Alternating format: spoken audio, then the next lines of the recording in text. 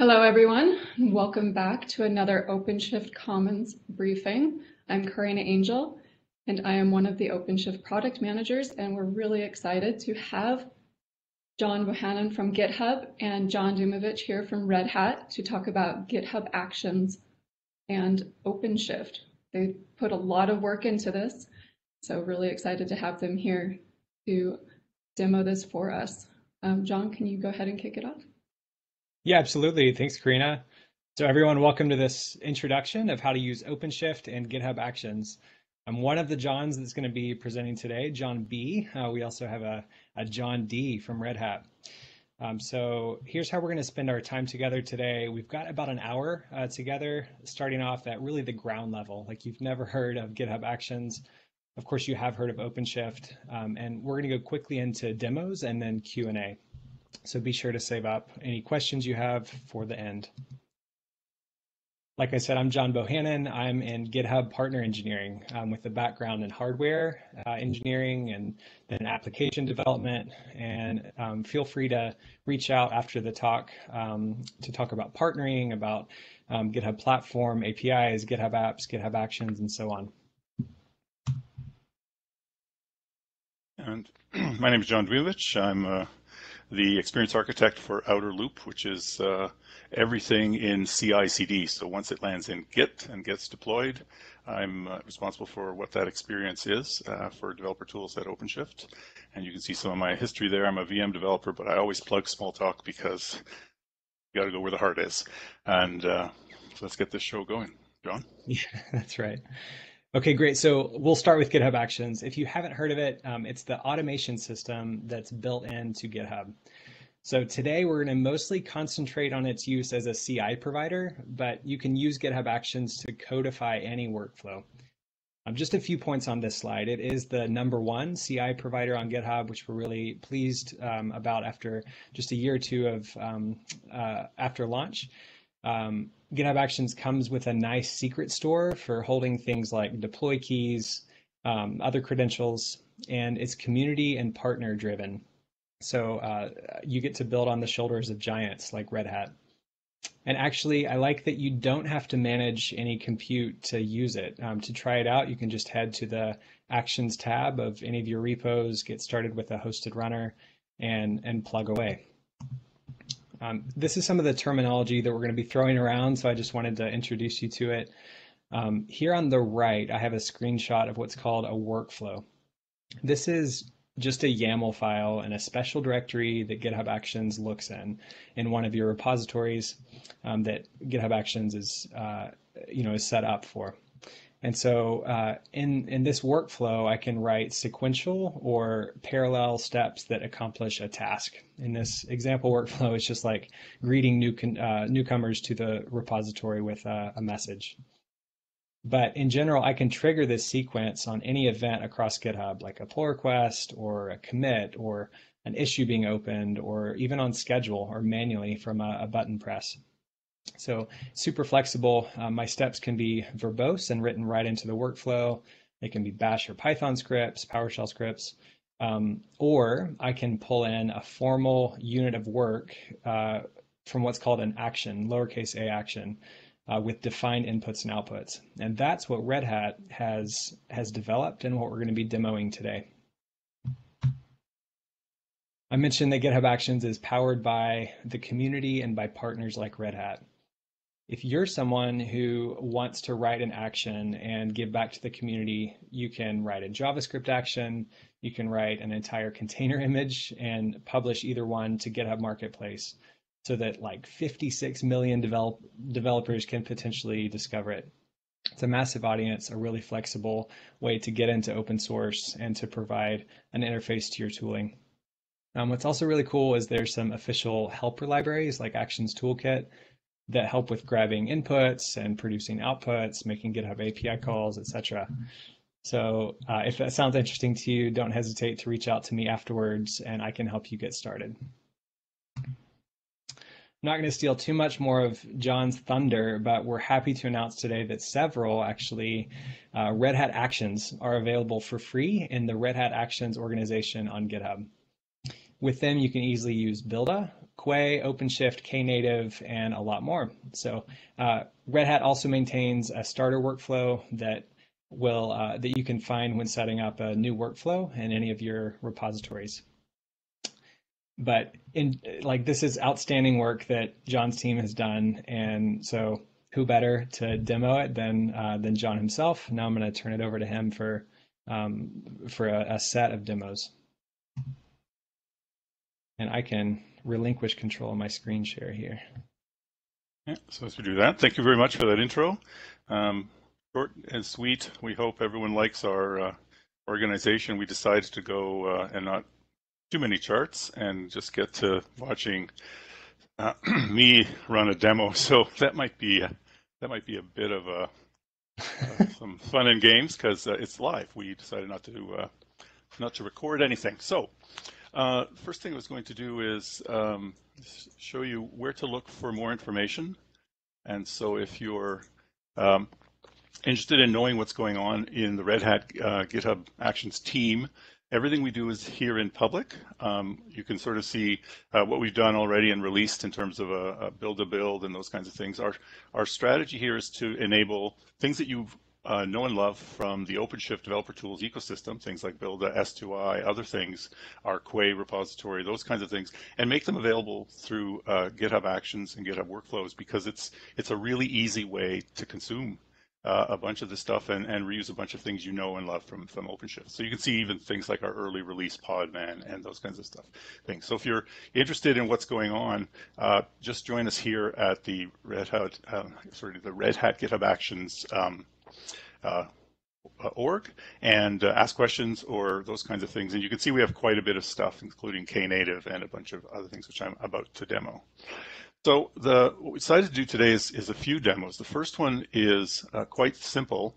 Uh, I created a simple app, called it Simple App, and I'm going to show you how to enable this using um, GitHub Actions workflows, the default OpenShift workflow, and the um, uh, the uh, developer sandbox. Okay, so basically what we're going to do is follow these four easy steps, which is uh, easily found in my uh, in my repo. I'm going to get a sandbox, which I did earlier. So when I go to the site, I've already prepped it. It doesn't take that long, but I didn't want you guys to wait while I got a sandbox. But a sandbox is there, and I basically, since I logged in earlier, it's uh, it's still logged me in. It's going to take me to my OpenShift cluster. So if you want to try OpenShift out, this is a um, a really great way to uh, to get started. Okay. Um, then uh, what I'm going to do is, is I'm going to take my uh, my app and I'm going to enable it to run this. And basically, uh, I'll take you through a quick uh, quick view here. I could take show you in VS Code, but I'll just do it here. It's a really simple Node app, nothing special. It's just going to uh, serve up some pages.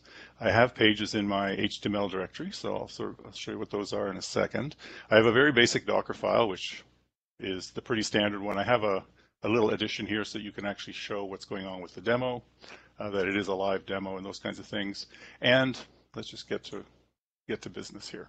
So uh, GitHub is a really nice place to sort of add and get started with workflows. You can set up your own, or you can go down here and take our ready set up uh, OpenShift workflow, which I'm going to do. And so now I'm, I'm ready to, if I start this commit, I'm going to have a workflow, but it's not going to work yet because before you actually uh, read all this stuff, so maybe developers don't read, but there's a few things you'll have to read.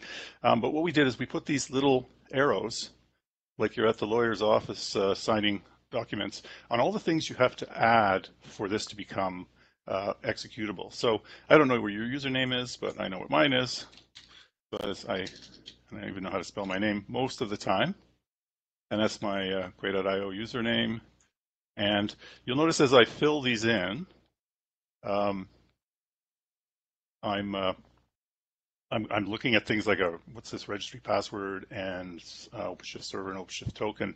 Um, those are things that you wouldn't ran randomly type in the clear here. So uh, John mentioned earlier a secrets thing, a secrets facility to manage your secrets. So you could do something like put a deploy key and other things uh, to, into secure storage at GitHub and then use it for something like a deployment. So that's what we're going to do, and I'll show you how we're going to set those up in a minute. I'm going to send this over to and the reason I'm doing that is when I get a topology viewer, or sorry, when I get a, a new sandbox, I actually get three namespaces, dev, code, and stage. I'm going to be using all these today, but my dev namespace is empty. I, I put some cool future demo stuff here, so you'll see some of that stuff coming up. But right now, I, I chose an empty one. So when I hit the topology viewer, there's nothing running there. So if everything goes to plan, and I find my workflow, which I'm right here, uh, this will end up here in Baidomovich Dev. Now, uh, due to an issue that we're fixing today, um, I have to go back to 1804, but uh, that should be fixed in our uh, in our update to the build. And I think that's it. Uh, I've decided 8080. I don't want to change the port. I'm not going to change my app name or tag, and I can take you through a quick flyby of this uh, of this workflow. So first things first, it's uh, it's using some features like um, setting up outputs so that I can uh, when I run this workflow, I'll get a really nice um, output to tell me where to find the app that I just deployed, because I always find that very interesting.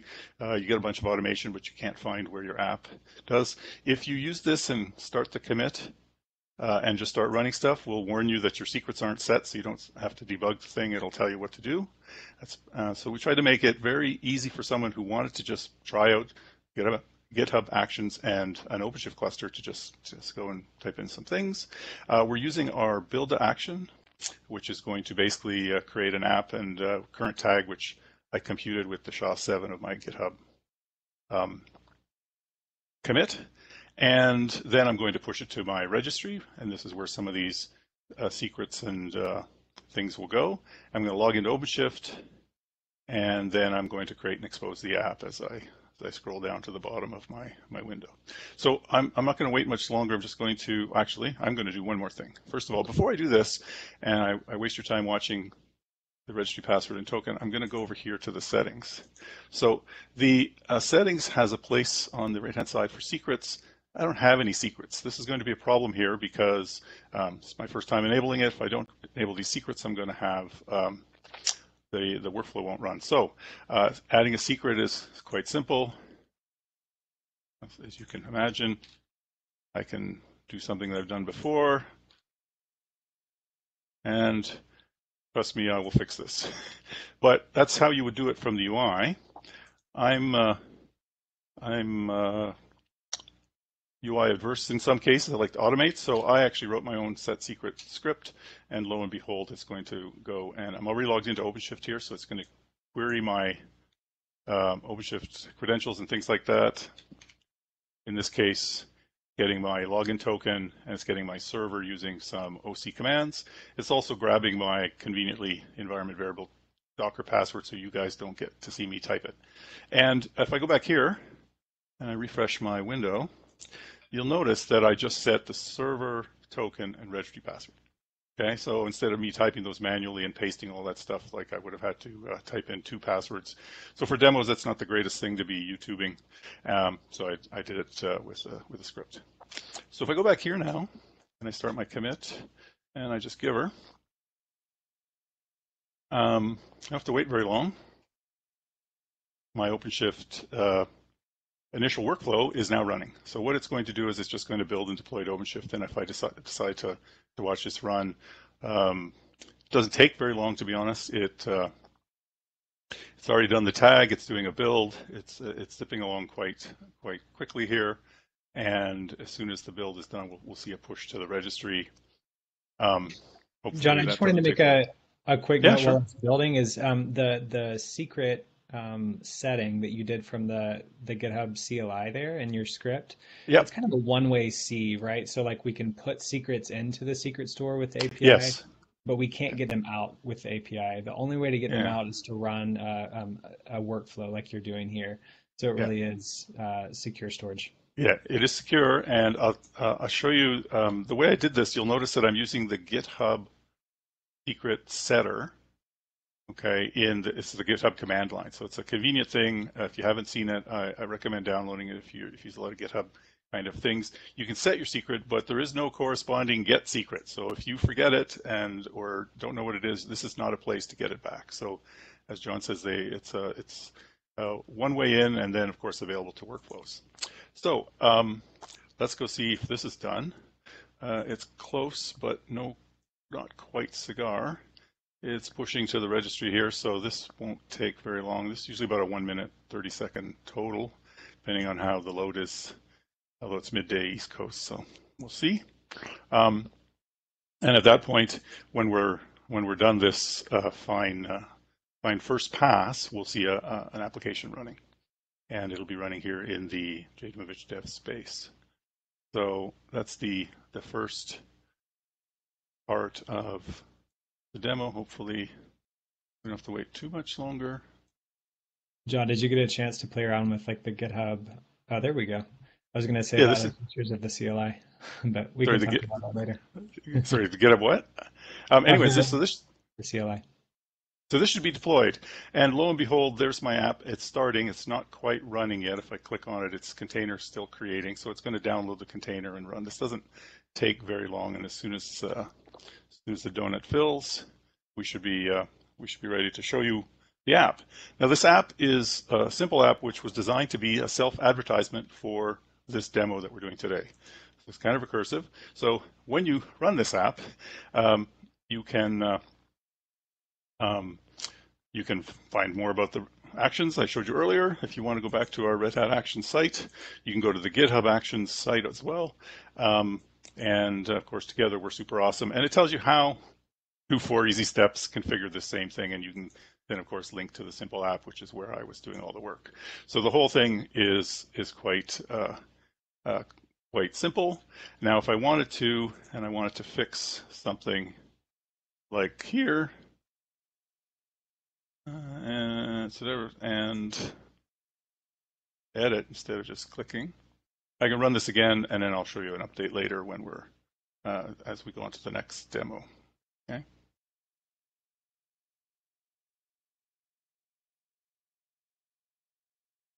You're welcome, whoever. Uh huh. And uh, get that and be happy. And of course, we'll see another build running in, in a few minutes. We'll, we'll see that running.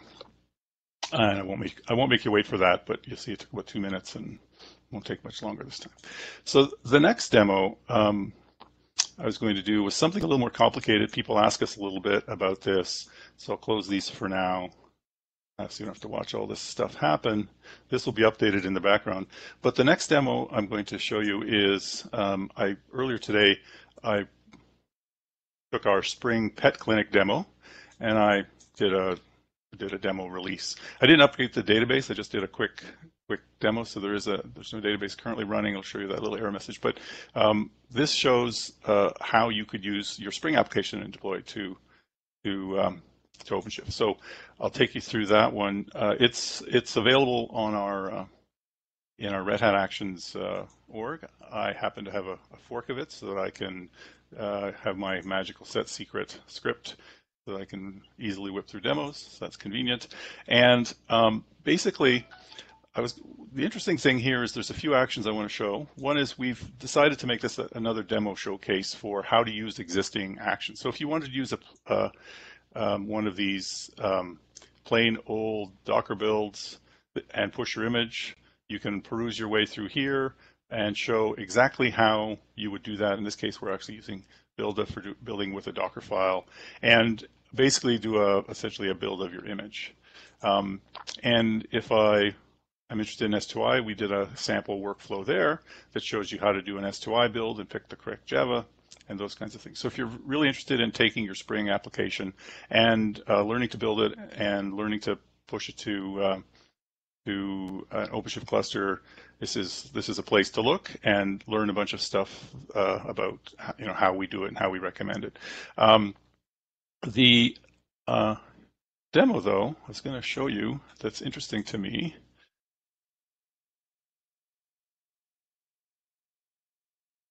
I'm going to show you what I call using the cloud for my own good deeds.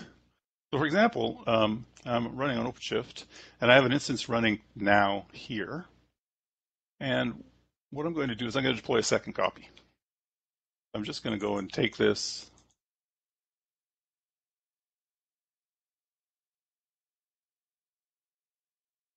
For the OpenShift common stuff.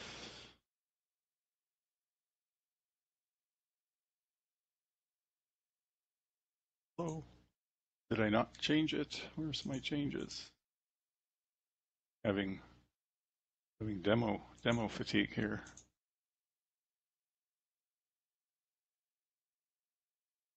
Something funny going on. All right, that's supposed to change.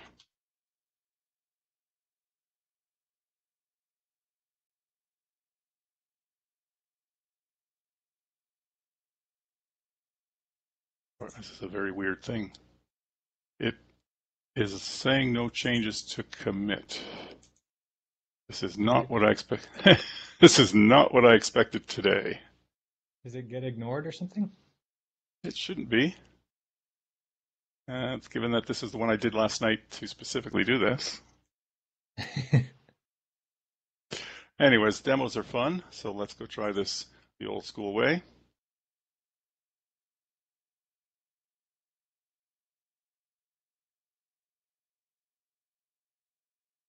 Find my location for this fine thing.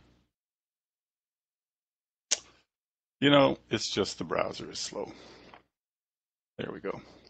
All right, let's push this now and not worry about it too much. So the, the browser, or sorry, the VS Code finally determined it was changed. So demo. Uh, so I just did that and pushed it quickly.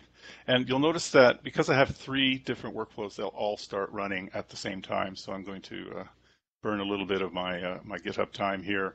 And the one I'm really worried about is this one, or paying attention to. You'll notice it's built in a bunch of different steps. So these uh, first compile step, which is then a, precursor for the build and push to Quay, and then it'll deploy to OpenShift. So if we go back to our, our demo a little bit, we'll you'll notice that we've built it based on this, uh, you know, uh, these sep separable steps and the these steps then can be dependent on a previous step using the ID of the step. So you can have that uh, that workflow that we just showed here running as a as a sequence of dependent steps. Okay, so this this doesn't actually shouldn't take that long as well. Um, and when it finally finishes, while we're at it, let's go back to this. This one probably finished, right? See, the other were super awesome, and so is OpenShift Commons. So that was my previous demo. So we're going to just stop with the simple demo. Uh, you can play around with it if you uh, if you decide to try to to find uh, find some time to just learn something new if you haven't seen Actions and, and OpenShift together before. So um, click around here to get rid of extra stuff. The right one. So this one's still compiled, and now it's building.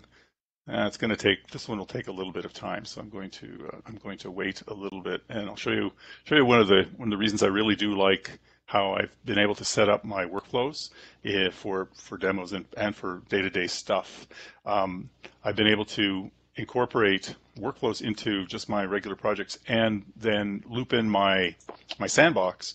And so whenever I, I play around, I can always have a running copy of my my application. So this is this is part of what I would consider leverage the cloud for a developer's use. And so, you know, while CI/CD is typically for, you know, a lot of folks consider it um, prod or pre-prod, something you're going to deploy. I also consider it something that you end up using as part of your day-to-day development. If you want to see something a little more realistic as part of what's going to happen when you do uh, finally get ready to uh, to start using a, a, real cluster in in your development and testing. So, um, and when this finally runs, we'll see a, a version of it. Hopefully, I just uh, I, this took. Oh, am I going to be? That's the Docker build one. There's S2I, and now the one we actually care about is deploying. So hopefully if we uh, we can catch it live here. Um, Bill's deploying. But the reason this is interesting is we're going to have this one here, which uh, I'm going to close my windows here and make sure I have it all ready to go. But I have this one here, which shows me, oops, showing you the wrong one. That's why that's why demos are great. I have the old one. We would have never seen now I have two. So I have this one, which is coming up still, and I have this one, which is up. So this is the demo live one, and if I go back to this viewer, it's starting, and if I um, go to my logs, I can actually see it's probably still bootstrapping a little bit, but we can always find out by uh, clicking here and checking it. And there's the new version.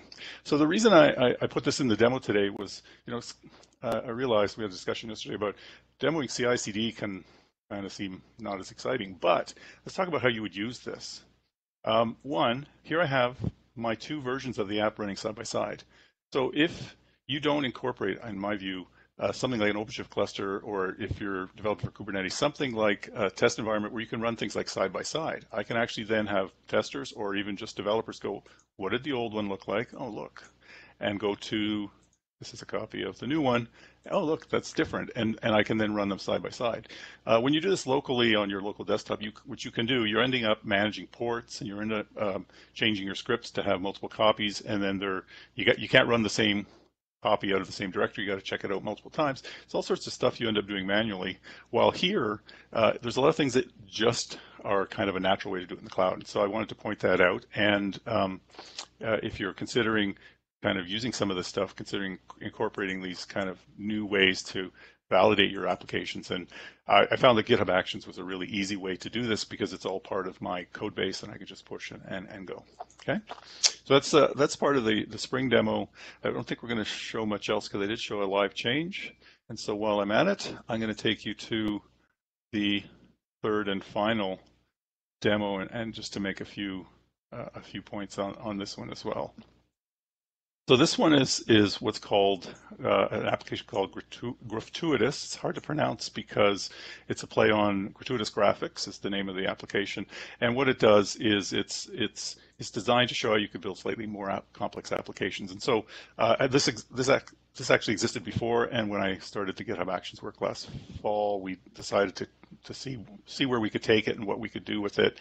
Uh, this one's interesting. It has three different programming languages for a single service called Go, one for Go, one for Node, and one for Quarkus in Java. It's got a front-end load balancer that I inserted for uh, for convenience, and it's got a, an Nginx for all the HTML stuff. Um, and so in this particular case, um, that's this, this, application here. Uh, actually, let me show you the application a little bit. Um, application is actually running, and you can now, you'll probably figure out why it's called gratuitous because it's using gratuitous graphics. These charts mean almost nothing because they're basically benchmarking the app itself, so it really doesn't. And it just shows you some intergalactic uh, numbers flying by and those kinds of things. Uh, you can play with uh, you know number of requests and stuff for performance and other testing, which we can actually demonstrate lots of interesting things on the cluster like scaling and other things. Um, however, today I'm just going to demonstrate a uh, a change. It's going to be applied dynamically, and how the GitHub actions uh, that we put together work to, to make all of this stuff happen. Um, so I'm going to go down here first. Um, I've been using it already, so I'll show you what uh, I did one this morning. You can probably guess when I show you the last few action runs what I did to set up. That's a hint, yellow. That's uh, close some of these so that we're not going to get buried in windows. Um, and get rid of this one probably for now because I have one here. And as you could probably guess, yellow refers to the color of the Go uh, implementation in the uh, in the cluster, which you can you can also see here. You can see the yellow, but you can see that this is the application.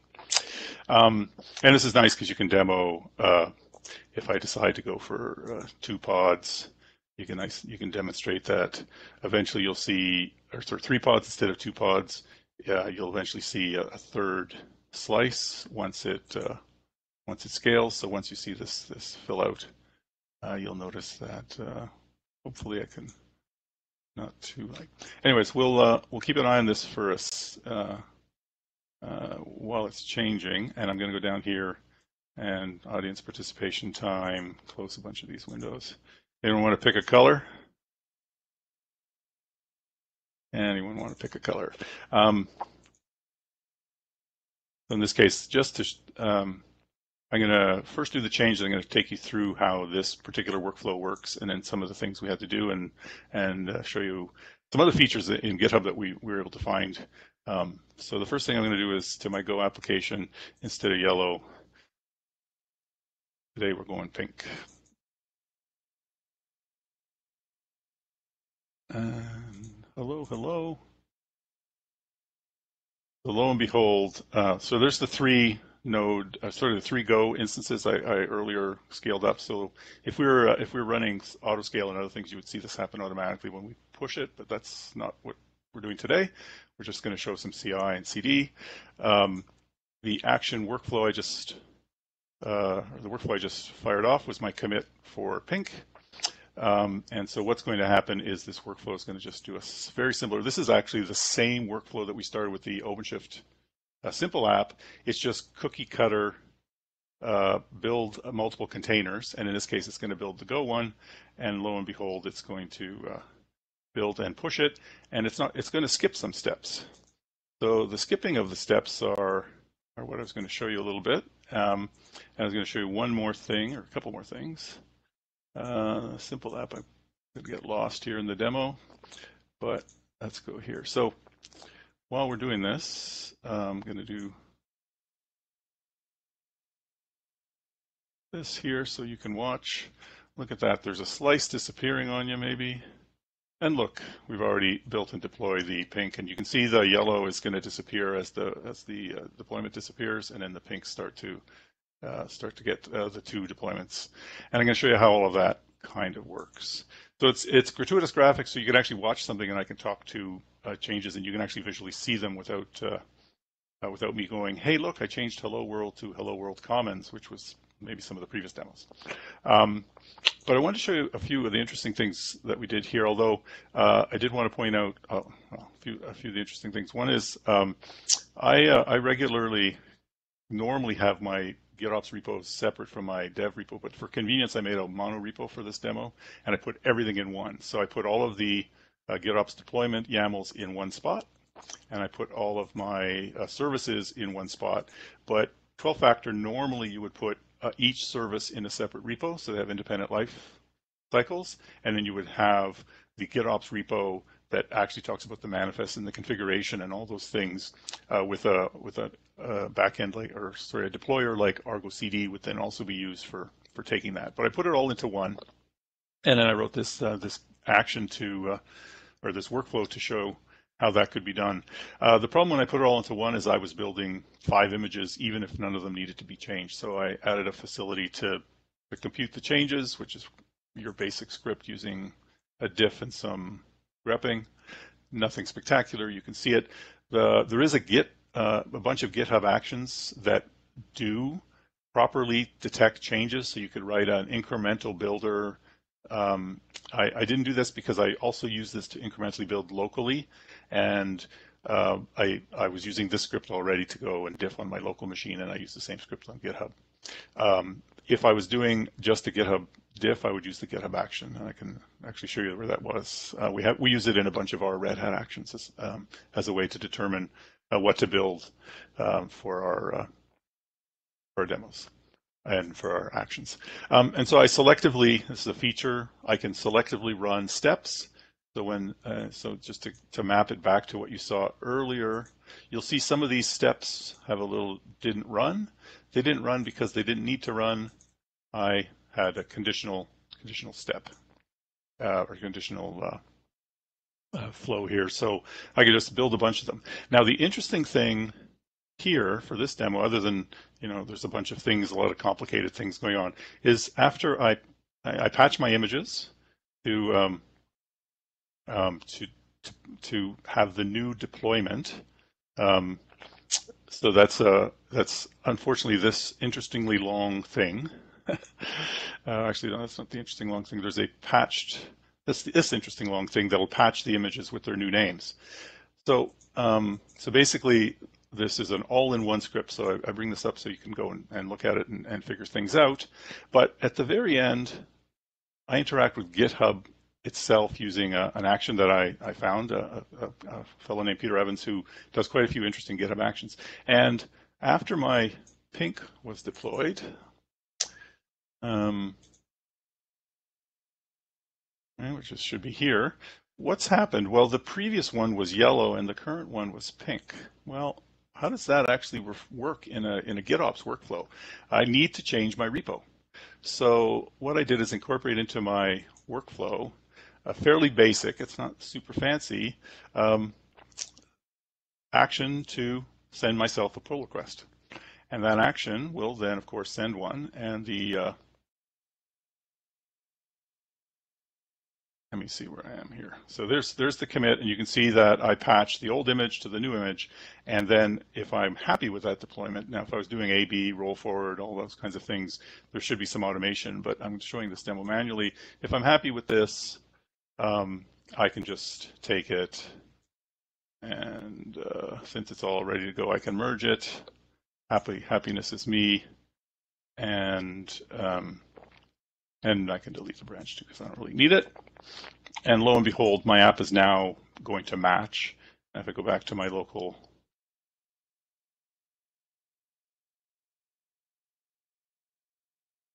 local deployment, I should see the old one here, but if I pull pull back to get myself in sync, I see it changed. Hopefully you, sp you spotted that to the new tag. So this is me running a full end-to-end CI/CD out of GitHub, um, just for myself, uh, with uh, full GitOps kind of workflow to determine uh, what gets released, and I can go back to any previous release, and and and it's all tagged through these these pull requests. So, uh, just the the power of the cloud is is really the message. You're using CI/CD as part of your everyday workflow, just because it's it gives you a lot of interesting kinds of things you can uh, you can do. Um, so uh, those are the demos we were going to basically run through today, and I was going to just end with a couple of things and then go back to some charts, and then uh, we can go to the questions, and we'll have plenty of time, I hope. If there's any good questions, we'll see. Um, I wanted to I wanted to point out uh, stuff we haven't demoed, and then we'll talk about a little bit today.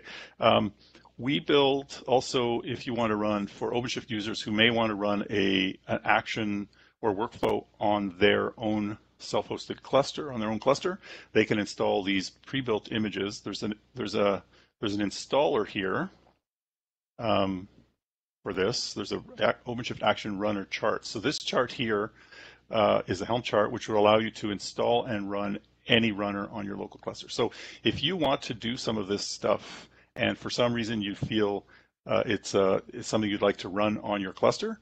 Now, in some cases, maybe you don't want to do the build on your cluster, but you might want to do some testing on your cluster, which is already pre-configured. This is a perfect way for you to get GitHub to launch and execute on your cluster.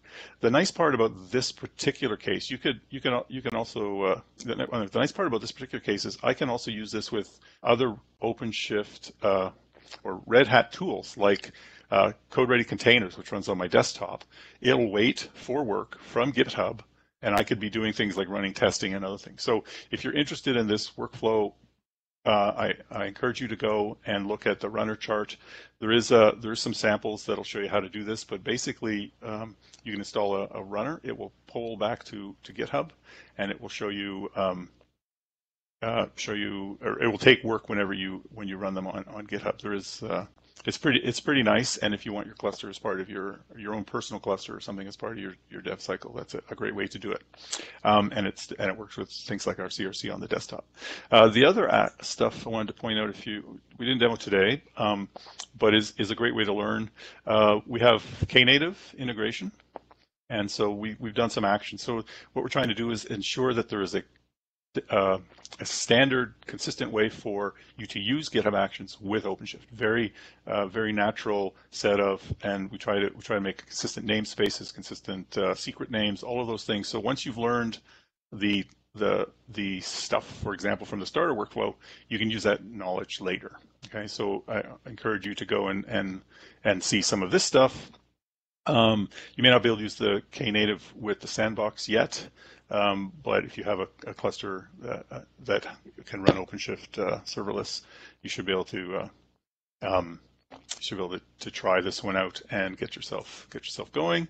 Uh, the Spring Pet Clinic, of course, this is where I forked mine uh, to to show you the demo today. I didn't really do a lot of work other than than you know forking it and filling in some secrets in a little script. Uh, a bunch of direct actions for talking to OpenShift. Um, and there's one more I really want to talk about here as soon as I scrolled past it um, that put some a little bit of thought into it. This one here.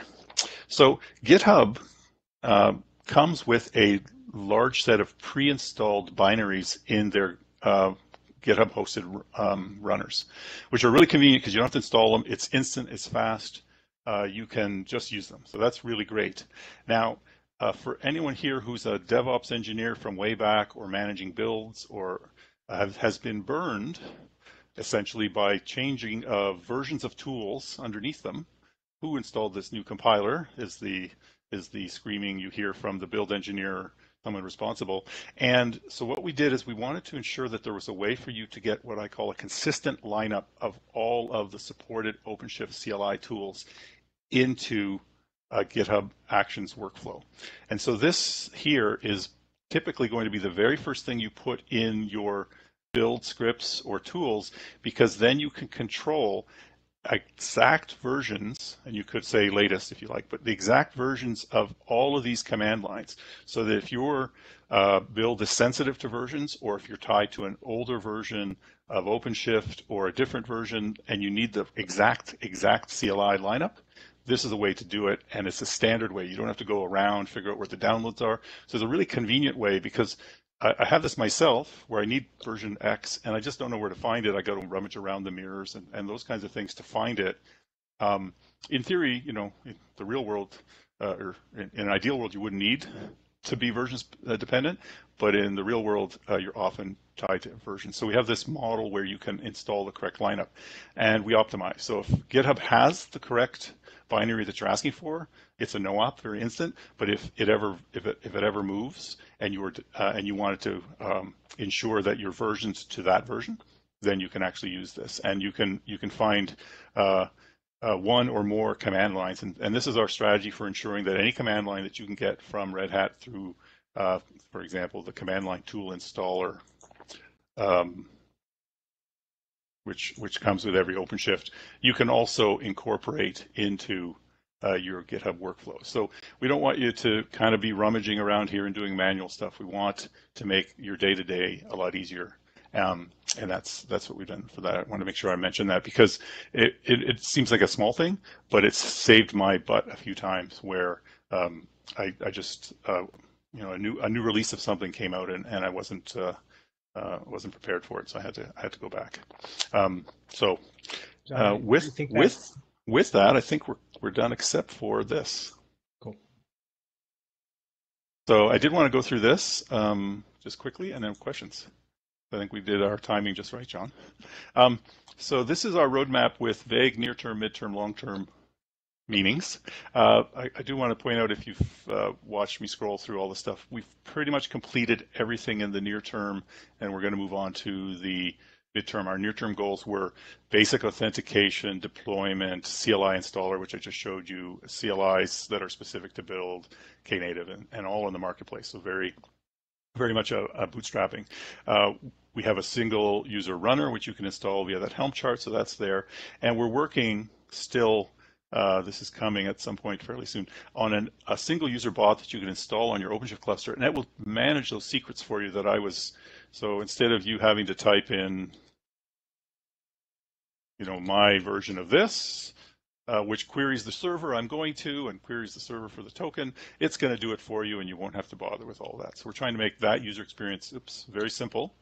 Uh, the midterm is around, uh, you know, being able to build on um, build things that require entitlements, uh, testing, uh, better uh, better scanning, and other um, uh, security DevSecOps kind of integrations. VPN to private clusters is something we're exploring, and then a bunch of other things where you can re-leverage things like Tekton, which might be important if you're an OpenShift user, uh, with um, with GitHub. Uh, as we call that a bit of our shift left, because if you're already running it with a pre-built task on your cluster, you might want to also give it a go on GitHub. Uh, we're looking at operators to make it a lot easier to manage things like the runners, because you might have lots of them, um, and uh, integration, a little more integration to the sandbox. Right now, you'll notice, again, I had to uh, um, manage these secrets and other things. We wouldn't mind making it a lot, a lot smoother experience to get a sandbox and work with GitHub. So hopefully, in a future demo, you won't watch me click around a lot. You'll see just smooth um, you know, getting stuff built and deployed. And then, of course, in the longer term, um, you know, execution on pipelines, on OpenShift pipelines. So if you want to want to actually leverage uh, your OpenShift cluster, uh, be configured for security or be configured for larger things, uh, larger heaps, larger memory than might be available on GitHub. Although GitHub is very generous with their seven gig, that's pretty much big enough for anything. However, um, there are things that do exceed that, uh, and then some other UI things. So if you're building on GitHub, maybe uh, the status in the OpenShift console that's attached to that app will be up to date and, and consistent. And then a few other uh, another few other things for uh, for uh, integration to our GitOps, which is coming out uh, this year, um, which is of course naturally something you would layer on top of Git. So that's it. And now, John, you want I don't know where who put concerns in here, but I'm I left it. Concerns? Anyone, anyone concerned about the direction this is, we've taken? Yeah. this is questions I like, comments I like. I'll take concerns, but it was uh, I think uh, I, I, used to just direct them to your personal email, but I took that out too. So yeah. well, there. No. Uh, so uh, so that's um, that's it for us. I think in terms of all the things we wanted to show and sort of things to bring up. So we'll take questions, and I haven't looked at the chat or anything like that. Uh, to see if there's any, but Serena's gonna, or sorry, uh, uh, Karena's gonna show us. Wrong, wrong, wrong, Ina. Sorry.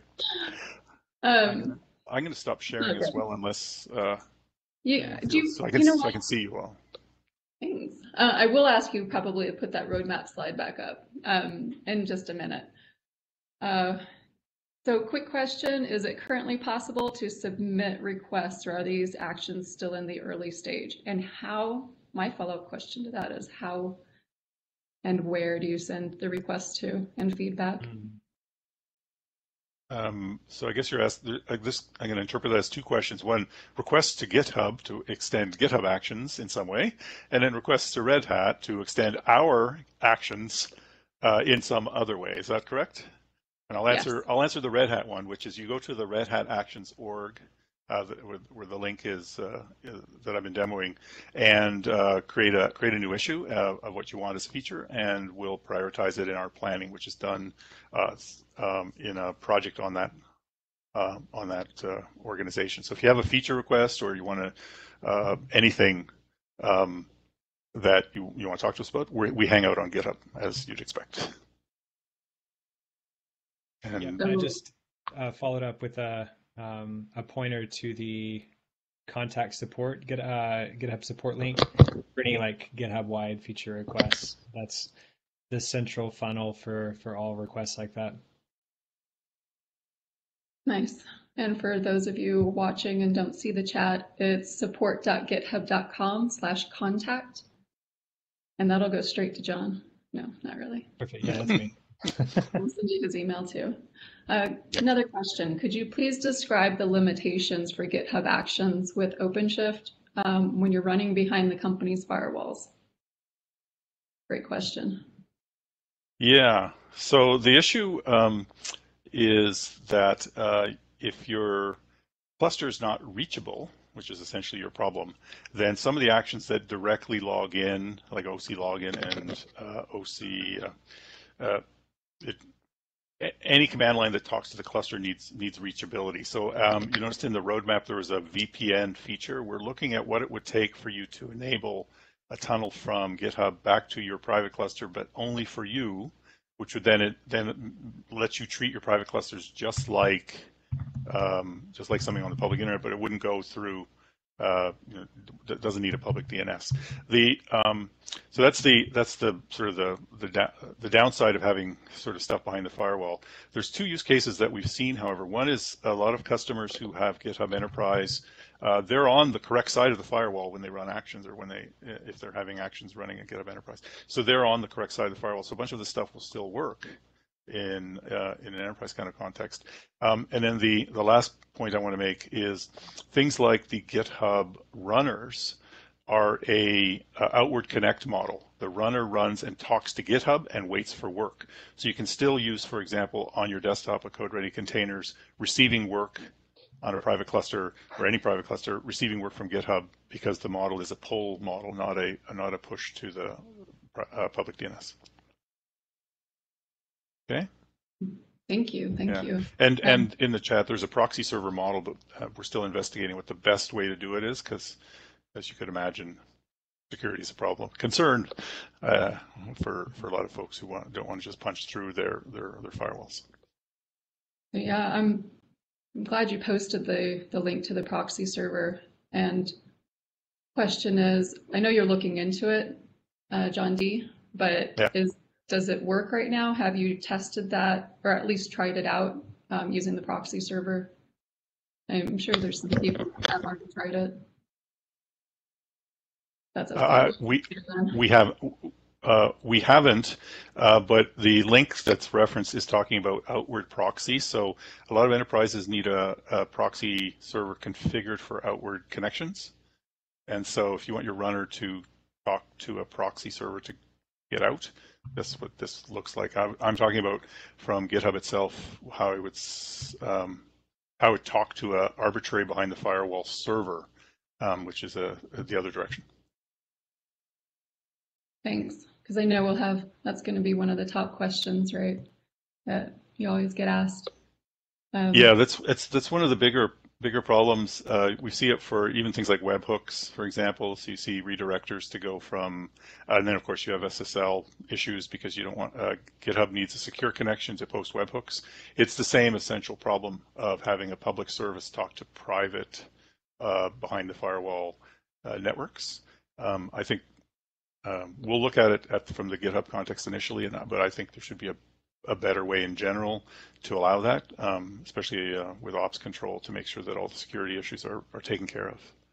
Yeah. But uh, I, I think it's yeah. Yeah, go ahead, John. no. I, I, I was I was just going to ramble on a little bit um, because uh, you know about the ops folks who really need to know all the holes punched in their firewalls to get to essentially what they consider are developer use cases, which may not be a high priority. um, so you Yeah. got to be uh, yeah. Yeah, I know we have a mixed audience today, so I just wanted to um, point out that there are a few different variants of GitHub. There's like the GitHub.com um, version that's free to use. There, there are different paid um, tiers of that as well, including a, an enterprise cloud. Um, and GitHub Actions is available on all those, and also the on-premise GitHub uh, enterprise server. So um, it's worth trying out in that context too. Yeah, so yeah, so if you if you have Enterprise with Actions and you want to try our Actions, um, one of the things that we uh, we're trying to ensure is that we work transparently with um, Enterprise and GitHub.com, the public SaaS. Uh, the only real difference is the API endpoints. So you have to, uh, you know, sorry, the only, the major difference is the API endpoint. So everything should work as long as you're considerate of the environment that's it's being run in. So if there are issues, you try it out and you find issues, uh, uh, call me, and we'll and we'll, we'll we'll figure out what the real how to how to fix that quickly or or what the what the fix has to be. Because we do intend it to be uh, like one uh, write once and run pretty much anywhere you have the environment set up. Yeah. And there's a detail there that if you're on GitHub Enterprise Server, you're not going to be able to reach out to public actions like Red Hat's um, out of the box. Uh, you need to enable a feature called GitHub Connect, and you can um, Google the documentation for that. I can't do two things at once, or I, I would do that too. But GitHub Connect would allow you to say, you know, Red Hat Action slash, uh, you know, OC installer, and um, uh, and use those. Thank you.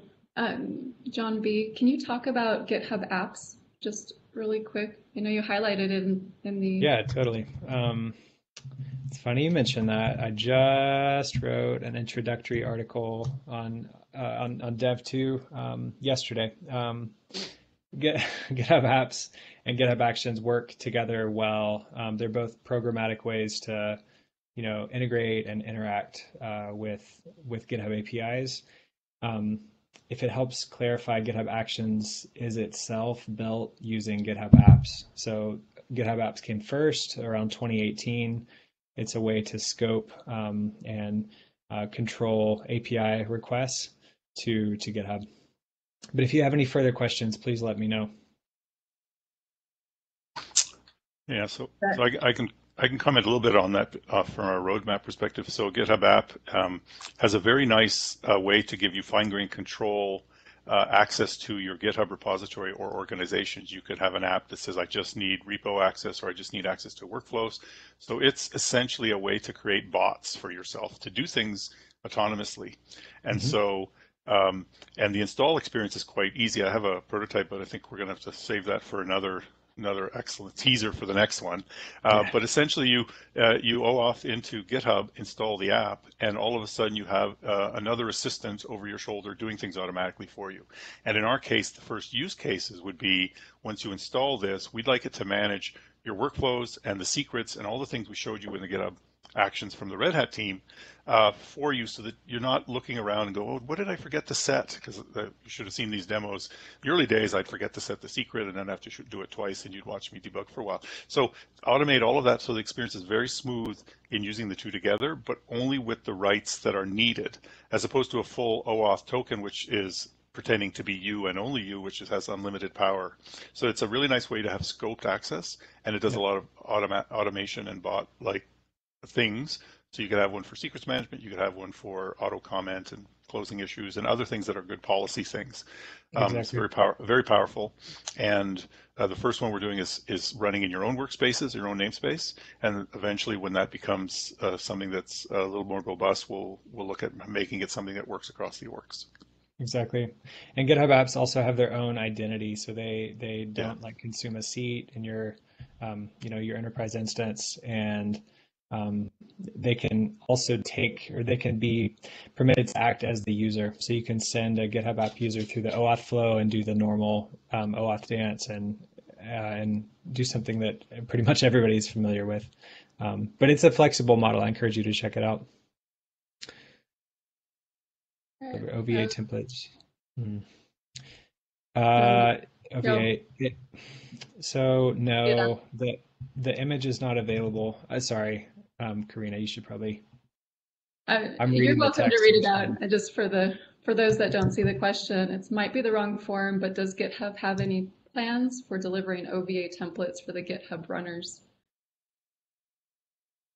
I can't speak to the plans. The the build scripts that we use to to make those VMs are available. Um, I just sent a link to the virtual envir action slash virtual environments repository where all that happens. Um, but I don't think the the image itself is available right now. I want to say it's for licensing reasons of the software that's included, but I'm not sure on that. Maybe we'll, we'll find out for the follow-up. And with one minute to go, do either of you have any closing thoughts? Really great demos. Just want to say that again. No, others have also commented on how great the demos are, so thank you. That's nice to hear. We uh, we actually met yesterday to talk about the kinds of messaging and demo kind of stuff. So it was uh, it's good to hear that the uh, the discussion was useful for everybody. And um, but yeah, if you see us on uh, see us on uh, our our uh, Red Hat Actions uh, GitHub. So if you need to know things or want to know things, if uh, you can always, of course, I, I work at Red Hat. So if you're from Red Hat, you just you can you can find me, I'm sure. But I'm pretty uh, pretty easily accessible. So anything you, you need to know, and I can certainly find uh, find out stuff for you if you if you want. So, um, but thanks for the feedback on the on the demos. We're trying to make them kind of useful and not just watch me run something. Yeah, I think you did a great job, John. Thanks for all the teamwork. Looking forward to the, the partnership. And I'm looking Uh, forward to the next session. Uh-huh. We'll we'll line that one up and thank you everybody else for joining us today. For, and this will be posted to the OpenShift YouTube, so look for it there. And thanks again for joining us. And Chris, can you see us out?